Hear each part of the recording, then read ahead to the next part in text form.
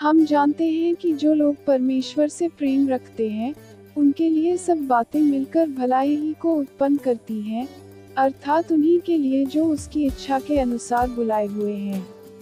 Romeo आठ, अट्ठाईस।